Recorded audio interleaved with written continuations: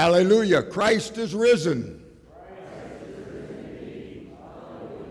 Welcome to worship on this glorious Easter Sunday morning. We're glad you're with us here in the sanctuary and online. We pray that as you go through this day, worship is meaningful for you and that you find what we find here and that this is a church where love lives. We would call your attention to the announcements that are in the bulletin, just a few. Just remind you that following the 10 o'clock service, there will be an Easter egg hunt for the children. So we invite you, if you're here this morning, to come back after that uh, for that Easter egg hunt. Also, on uh, April 13th, uh, Tuesday, Pastor Andrew will be beginning our new Bi- pastor's Bible study uh, to be exploring the Bible through the brush of a saint and a sinner, uh, Caravaggio's paintings. And so we encourage you to join Pastor Andrew for that at 7 o'clock. Also on Sunday, April 25th, following the 11 o'clock service, there will be a Q&A session for those interested in what is going on with our relationship with Kunz Memorial Lutheran Church uh, in Louisville and that whole question of possible merger or adoption. And so an opportunity to get your questions answered, to hear uh, what is the current state of the discussions with Kunz Memorial Lutheran Church. We do want to thank everyone who's provided us with the Easter flowers this morning to not only brighten up the sanctuary with their beauty, but also the smell is just starting to drift through the room and uh, increase the joy of this service. Remind you, you can pick these flowers up following the 10 o'clock service. Let us now prepare for our festival of celebration with our prelude.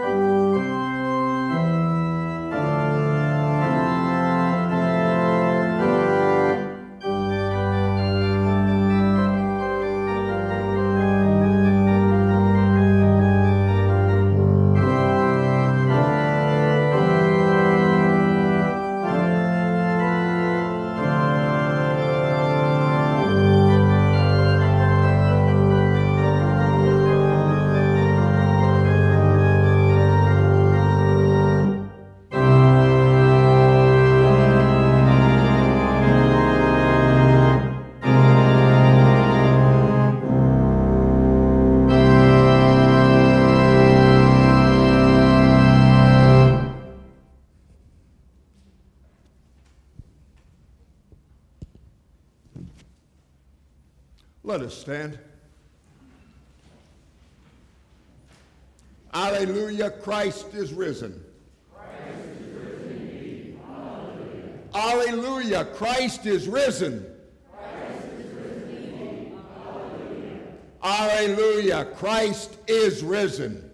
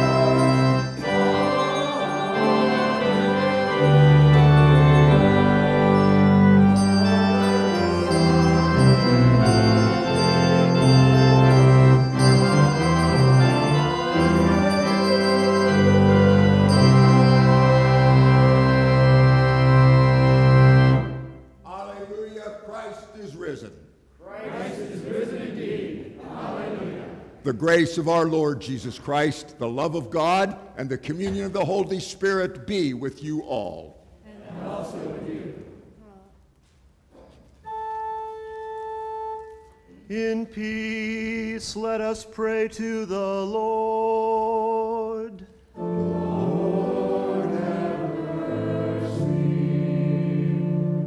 For the peace from above and for our salvation, let us pray to the Lord.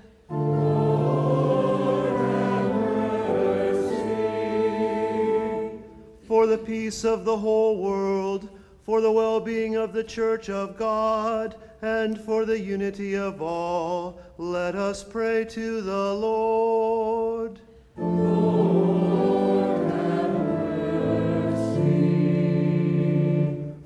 this holy house, and for all who offer here their worship and praise, let us pray to the Lord.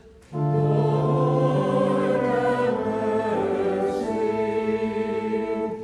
Help, save, comfort, and defend us, gracious Lord.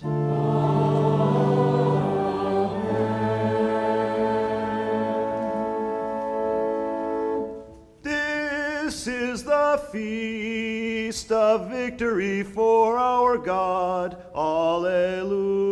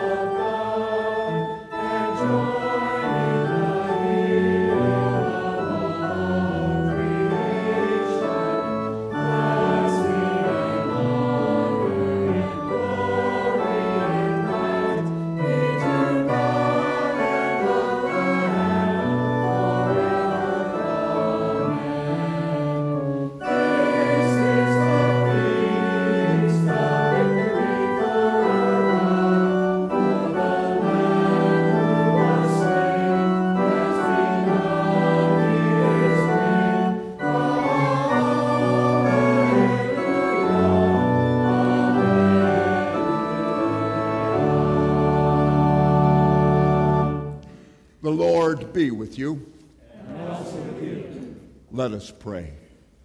O God, you gave your only Son to suffer death on the cross for our redemption, and by his glorious resurrection you delivered us from the power of death. Make us die every day to sin, that we may live with him forever in the joy of the resurrection. Through your Son, Jesus Christ, our Savior and Lord, who lives and reigns with you and the Holy Spirit one God, now and forever. Amen. You may be seated.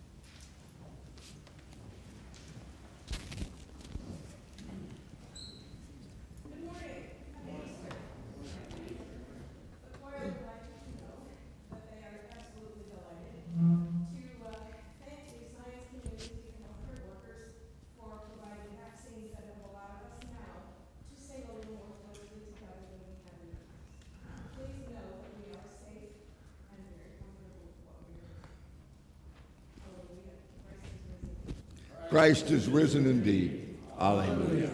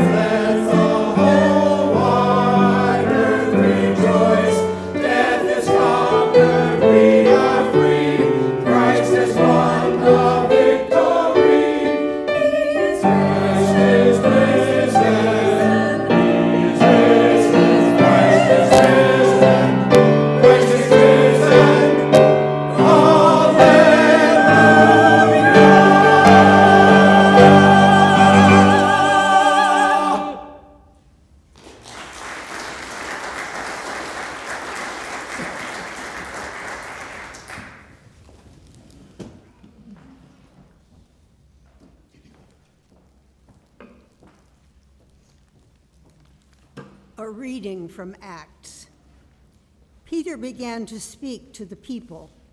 I truly understand that God shows no partiality, but in every nation, anyone who fears him and does what is right is acceptable to him. You know the message he sent to the people of Israel, preaching peace by Jesus Christ. He is Lord of all. That message sped throughout the Judea, beginning in Galilee after the baptism that John announced. How God anointed Jesus of Nazareth with the Holy Spirit and with power. How he went about doing good and healing all who were oppressed by the devil, for God was with him. We are witnesses to all that he did, both in Judea and in Jerusalem they put him to death by hanging him on a tree. But God raised him the third day and allowed him to appear, not to all the people, but to us who were chosen by God as witnesses, and who ate and drank with him after he rose from the dead. He commanded us to preach to the people and to testify that he is the one ordained by God as judge of the living and the dead. All the prophets testify about him that everyone who believes in him receives forgiveness of sins through his name. The word of the Lord.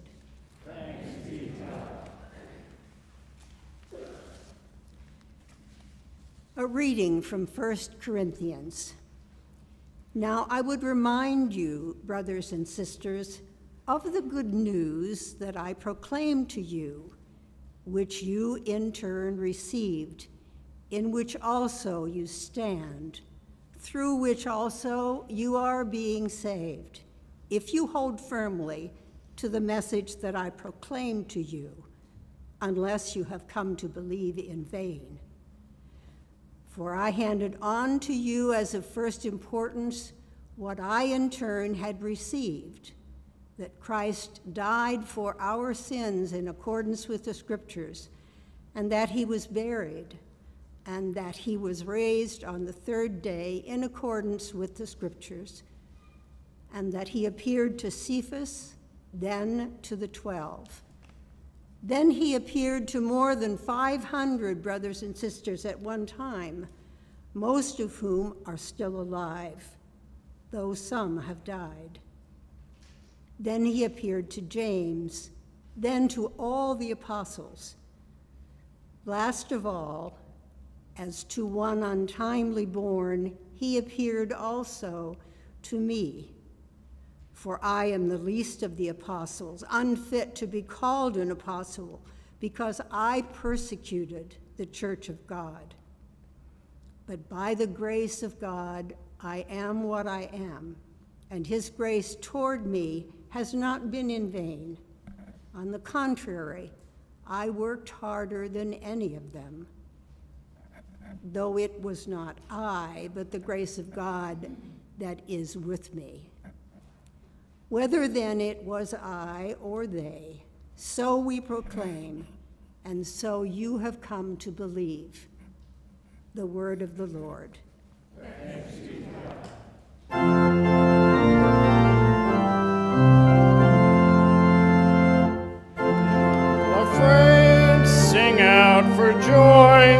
Christ is risen, alleluia. Be not afraid, sing out for joy. Christ is risen, alleluia. The Holy Gospel according to St. Mark, the 16th chapter. Glory to you, O Lord. When the Sabbath was over, Mary Magdalene and Mary, the mother of James, and Salome bought spices so that they might go and anoint Jesus' body. And very early on the first day of the week, when the sun had risen, they went to the tomb. They had been saying to one another, Who will roll away the stone for us from the entrance of the tomb? When they looked up, they saw that the stone, which was very large, had already been rolled back. As they entered the tomb, they saw a young man dressed in a white robe sitting on the right side. And they were alarmed. But he said to them, Do not be alarmed, for you are looking for Jesus of Nazareth, who was crucified. He has been raised. He is not here. Look, there is the place they laid him. But go, tell his disciples and Peter that he is going ahead of you to Galilee. There you will see him, just as he told you. So they went out and fled from the tomb, for terror and amazement had seized them. And they said nothing to anyone, for they were afraid. This is the gospel of the Lord. Praise to you, O Christ. You may be seated. Alleluia, Christ is risen. Christ is risen well, happy Easter. Well, let me ask you a question. What does Easter mean to you? You know, I've got a pretty good idea of what Easter is to me, but, you know, the reality is sometimes it can be a little bit confusing. Of course, I, I, have to admit, for some, I'm not sure why it's so confusing because, you know, let's be honest, they hear one or two sermons a year on Christmas and Easter, kind of like our, our friend in the cartoon. You know, he says, Reverend, you're in a rut. Every time I come here, you, you preach about the resurrection. Of course, I don't know about you. When I was growing up, the resurrection and Easter Sunday was a little bit confusing. And I know that I'm not alone. There was a Sunday school teacher that was asking her six year olds about the, the meaning of Easter. Children, she said, Do you know why we celebrate Easter? A little girl raised her hand. Yes, Jenny, said the teacher. Well, Jenny said, Well, is Easter when we put on costumes and go trick or treating? No, Jenny, that's right. That's Halloween. Does anyone else know? Well, a little boy yelled, It's when we set off fireworks. No, Jimmy, that's Independence Day. Anybody else? Well, there was a shy little girl in the back and said, Well, Easter is when Jesus died. And the teacher replied, Well, that's right, Shauna. And what happened to Jesus that makes Easter so special? Well, she went on, he died and got buried, and every Easter he comes out. And if he sees his shadow, there's six more weeks of winter.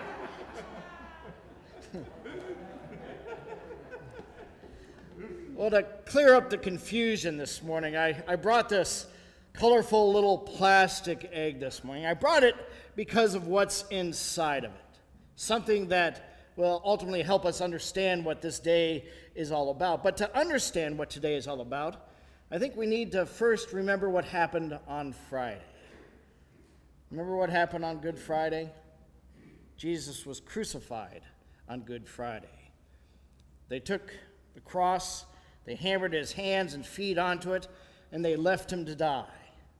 After he was dead, his followers took his body, wrapped it in cloth, and placed it in a tomb and sealed it with a rock. Just imagine how Jesus' followers felt at that moment. They must have been terrified. They were sad. They were scared, filled with anxiety. Why? Because his followers loved Jesus. They couldn't imagine the world without him. Well, now back to the egg. What does this egg have to do with today? Well, inside this egg is the answer to the mystery of Easter. You know, Jesus was put in a tomb. Easter morning, some of the followers went to the tomb, and of course, you know what they found the same thing that's inside this egg absolutely nothing. The tomb was empty. The empty tomb is the miracle of Easter. The empty tomb is proof that God's love is stronger than anything else, even, even death. And the message for us and for those disciples over 2,000 years ago is that, well, because the tomb is empty, we can relax because he lives. See, that's what Easter is all about. Jesus says to us, relax. I'm alive. I am resurrected. In fact, why don't you turn to your neighbor and Tell them to relax. He lives. Go ahead and do that.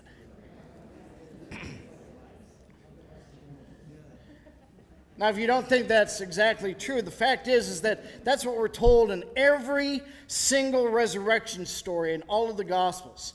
To the women at the tomb in Matthew, Jesus said, Do not be afraid. The Gospel of Mark, of course, that we read, records Jesus saying, Do not be amazed. In Luke, Jesus seems to tease the two men on the road to Emmaus. And in John, the words shared in the midst of the tent is simply, Peace be with you the disciples could relax. The tomb was empty. And there are at least two reasons, many more probably, but at least two reasons that we too can relax. Two reasons that are grounded in the fact that Jesus is risen. We can relax because our greatest problem now has a solution. What is our greatest problem?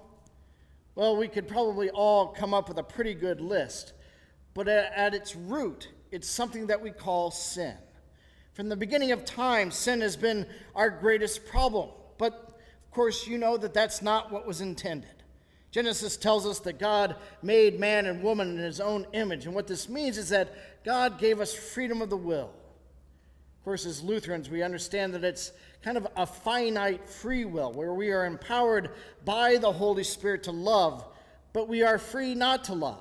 We are encouraged to follow, but we can choose not to follow. We can be moved to obey, but we are free not to obey. The simple fact is, God had high expectations for humanity. But the reality is, we blew it time and time again. We exercised our freedom and chose against God. We fell short of what God intended fell short of the relationship that God desired for each and every one of us. And the result is what we call sin. Sin is expressing our freedom by pushing God away. Sin means that we've decided then to go our own way instead of God's way. And sin, of course, we know also pushes other people away, widening the gap between us and others. And one of the favorite New Testament words for sin is a word that means to miss the mark. As in archery, you draw the bow, the arrow speeds through the air, but it falls to the ground before reaching the intended target. That sin, missing the mark. St. Paul tells us all of us have sinned and fall short of the glory of God. And just how serious is this sin problem? There's a wonderful story. Well, I don't know if wonderful is the word but a very interesting story in Thomas Costain's history, The Three Edwards. A story about Reynold III, a 14th century duke in what is now Belgium. Reynold was grossly overweight. He was often called by his Latin nickname, Crassus, which means fat. And after a violent quarrel, Reynold's younger brother Edward led a successful revolt against him, and Edward captured his brother but didn't kill him. Instead, he built a room around Reynold in the Newkirk Castle and promised him that he could regain his title and property as soon as he was able to leave the room. Now, understand that this wouldn't have been difficult for most people since the room had several windows and a door of near normal size. None of it was locked or barred. The problem was Reynold's size. To regain his freedom, he needed to lose weight, but Edward knew his older brother, and each day he sent a variety of delicious foods. And instead of dieting his way out of prison, Reynold gorged himself. And when Duke Edward was accused of cruelty, he had a ready answer My brother is not a prisoner. He may leave whenever he so wills it. Well, Reynold stayed in that room for 10 years. When Edward was finally killed in battle, he was finally released, but died one year later, a prisoner of his own appetite. The reason why I share this is because that's the way it is with sin. Paul tells us the wages of sin is death.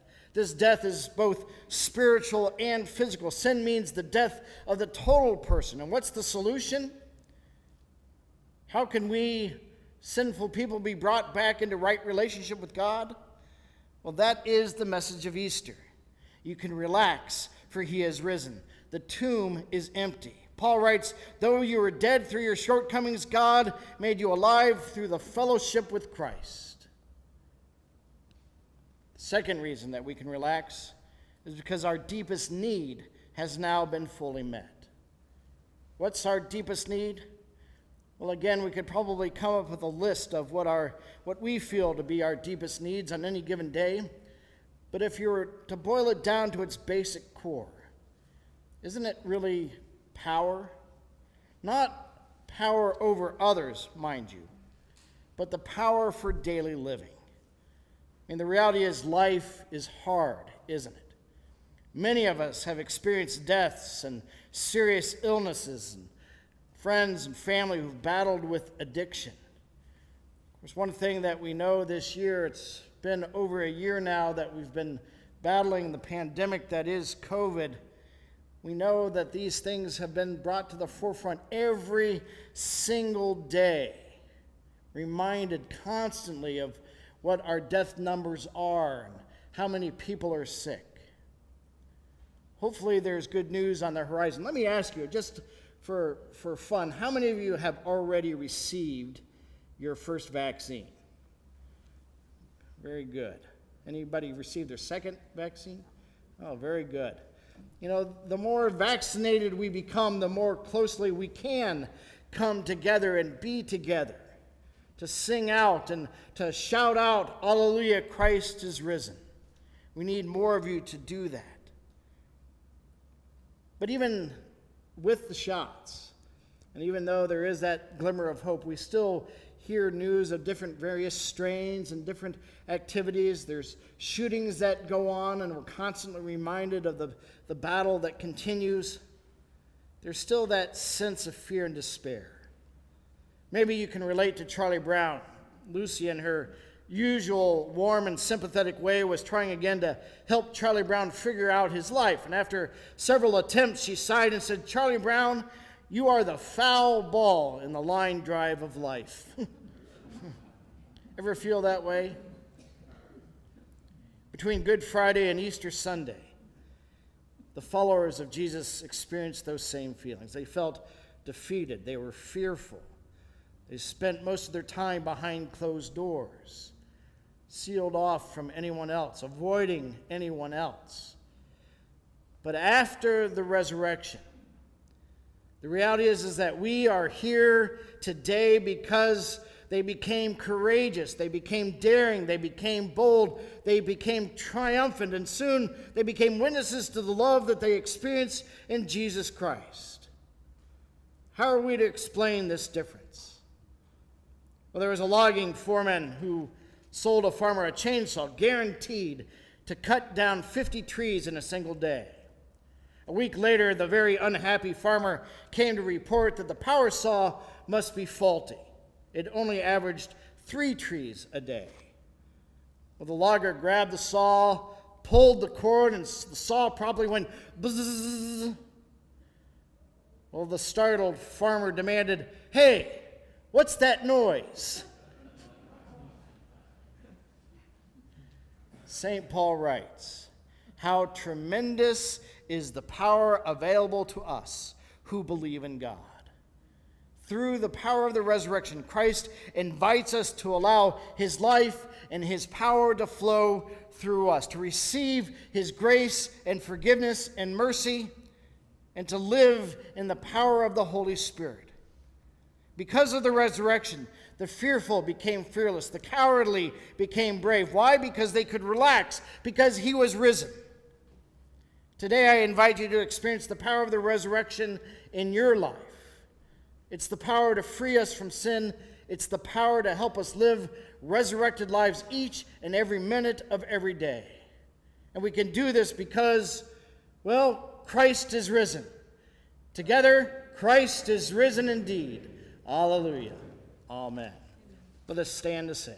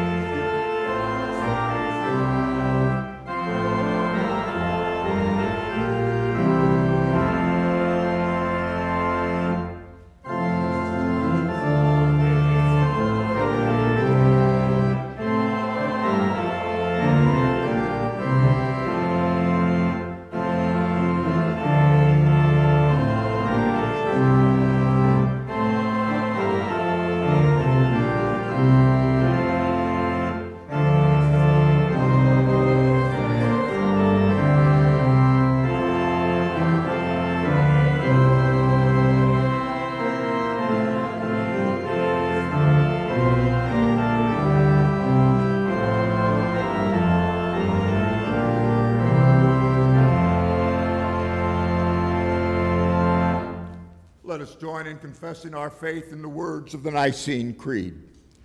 We believe in one God, the Father, the Almighty, maker of heaven and earth, of all that is seen and unseen. We believe in one Lord Jesus Christ, the only Son of God, eternally begotten of the Father, God from God, light from light, true God from true God, begotten, not made, of one being with the Father. Through him all things were made. For us and for our salvation, he came down from heaven. By the power of the Holy Spirit, he became incarnate from the Virgin Mary and was made man. For our sake, he was crucified under Pontius Pilate. He suffered death and was buried. On the third day, he rose again in accordance with the Scriptures. He ascended into heaven and is seated at the right hand of the Father. He will come again in glory to judge the living and the dead, and his kingdom will have no end. We believe in the Holy Spirit, the Lord, the giver of life, who proceeds from the Father and the Son. With the Father and the Son, he is worshiped and glorified. He has spoken through the prophets. We believe in one holy Catholic and Apostolic Church. We acknowledge one baptism for the forgiveness of sins. We look for the resurrection of the dead and the life of the world to come. Amen. Alive in the risen Christ by the power of the Holy Spirit, we bring our prayers before God who promises to hear us and answer in steadfast love. Praise to you for your power revealed in the resurrection. Fill your church with the power of your love that is stronger than death. Send us to tell the good news wherever death holds sway. Hear us, O God. Praise to you for your life at work in the resurrection. Fill all creation with your life. Bring it to blossom and flourish. Use it to remind us of your persistent grace. Cultivate our care for what you have made. Hear us, O God. Praise to you for the peace made possible in the resurrection. Fill the nations with your peace. Draw together people of all nations and languages, reveal new possibilities, and inspire new beginnings. Hear us, O God. Praise to you for the hope of the resurrection. Fill in need with hope those who are afraid or confused, those who are sick or suffering, those who are dying and those who grieve. Assure them of your promises. Hear us, O God. Praise to you for the joy of your resurrection. Fill this assembly with joy as we are called your beloved in baptism. Multiply that joy so that we share it at home, at work, and in our community. Hear us, O God.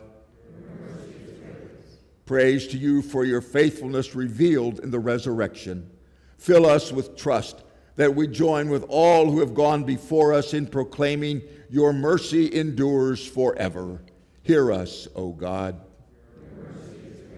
In the hope of new life in Christ, we raise our prayers to you, trusting in your never ending goodness and mercy through Jesus Christ our Lord. Amen. The peace of the Lord be with you always. With you. Turn and give a sign of peace to the people around you.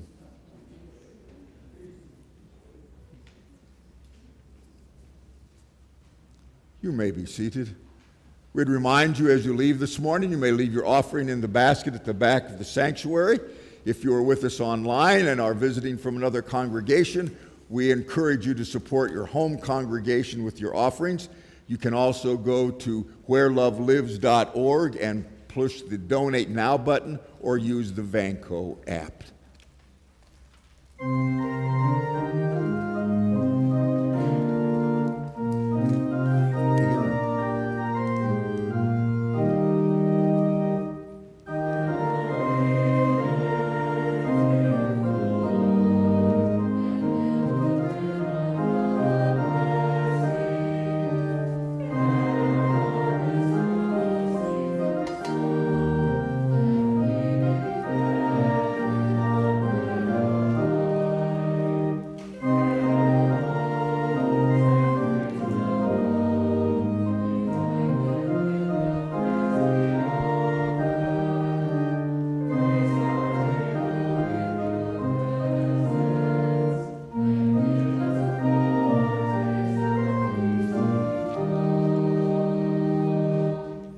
Let us stand for prayer.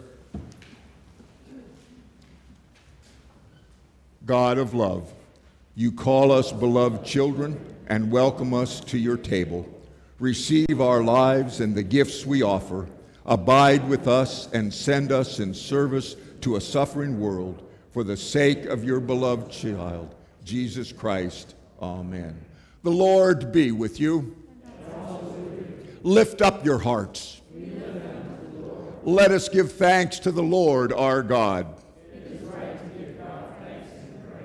It is indeed right, our duty and our joy, that we should at all times and in all places give thanks and praise to Almighty and merciful God for the glorious resurrection of our Savior Jesus Christ, the true paschal Lamb, who gave himself to take away our sin, who in dying destroyed death, and in rising has brought us to eternal life.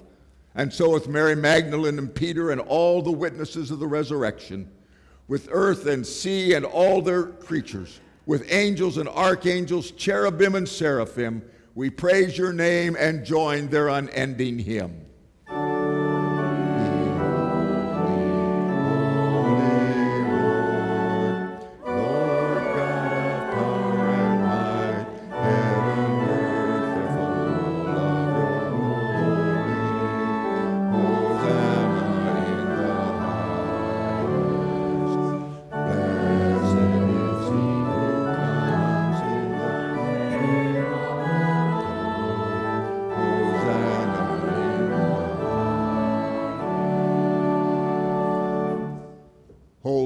Holy, mighty, and merciful Lord, heaven and earth are full of your glory.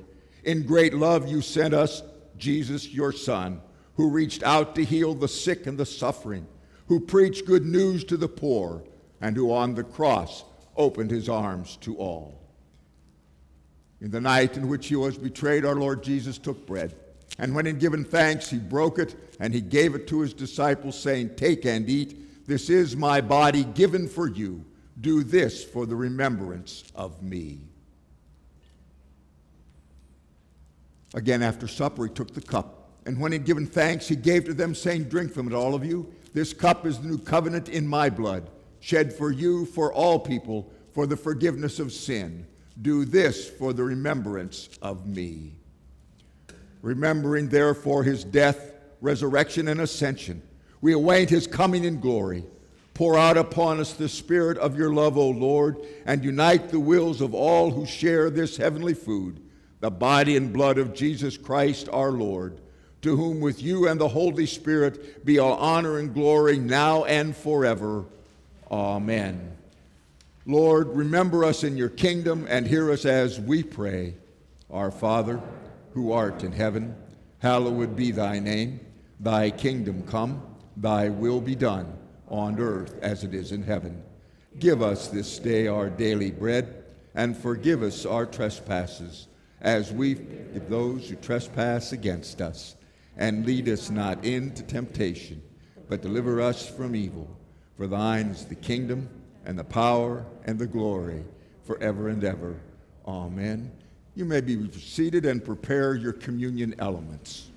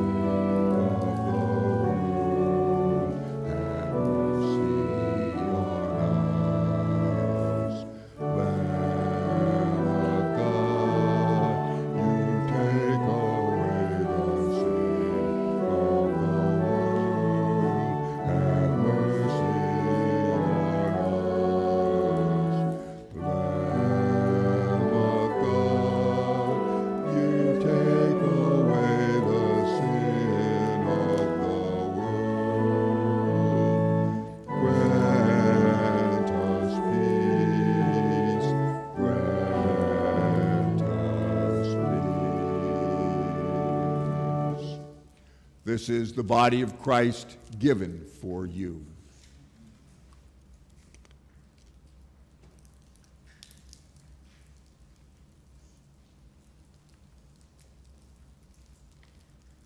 This is the blood of Christ shed for you.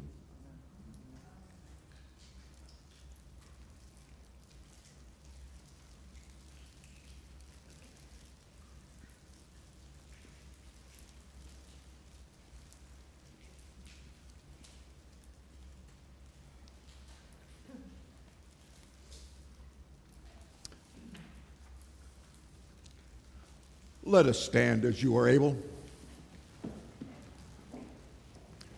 The body and blood of our Lord Jesus Christ strengthen you and keep you in his grace. Amen. Let us pray. May our glorious God grant you a spirit of wisdom to know and to love the risen Lord Jesus. The God of life, Father, Son, and Holy Spirit bless you now and forever. Amen. The Lord bless you and keep you. The Lord make his face shine upon you and be gracious to you.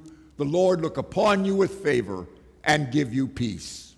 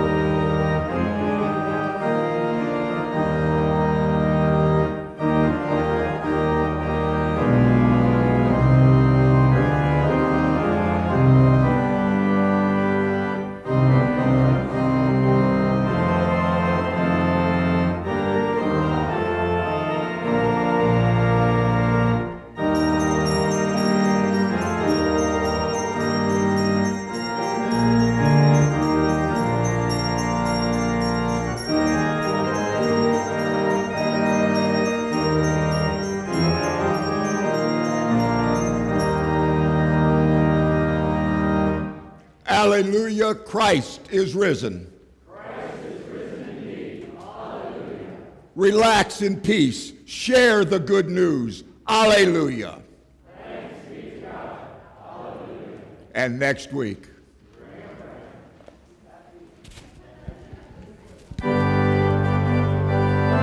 Good job.